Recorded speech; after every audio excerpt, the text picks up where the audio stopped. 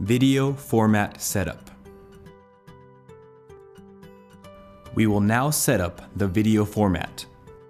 You can choose the video format in the dedicated menu within the Setup menu.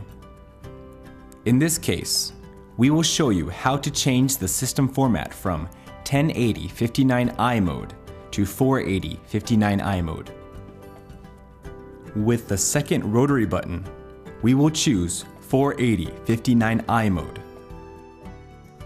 We can choose the aspect with the third rotary button and the setup with the fourth button.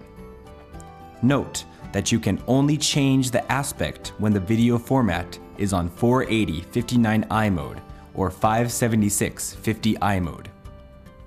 When you are done, press the enter button. The OK sign will appear. Then press again the enter button. The settings will be completed once the machine restarts. The audio video input settings are saved in either HD format or SD format.